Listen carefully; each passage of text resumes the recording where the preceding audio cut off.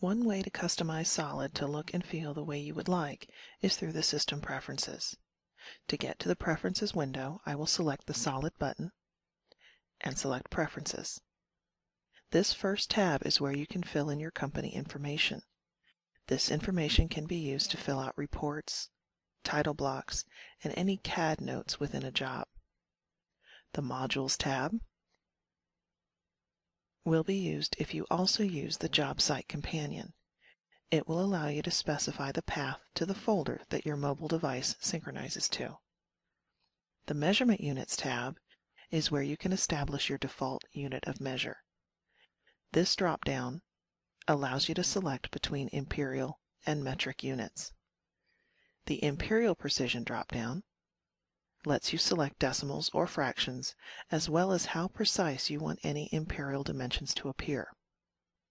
The Metric Precision drop-down lets you set how precise you want any metric dimensions to appear.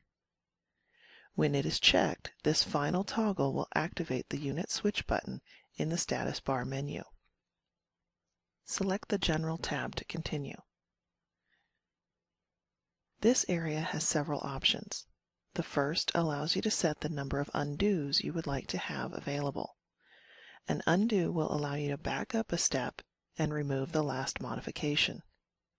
I have this set to 5, which means I can back up as many as 5 steps.